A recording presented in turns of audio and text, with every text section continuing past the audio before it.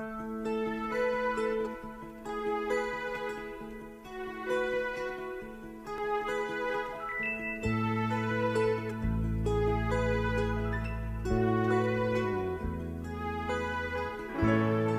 more champagne, and the fireworks are through. Here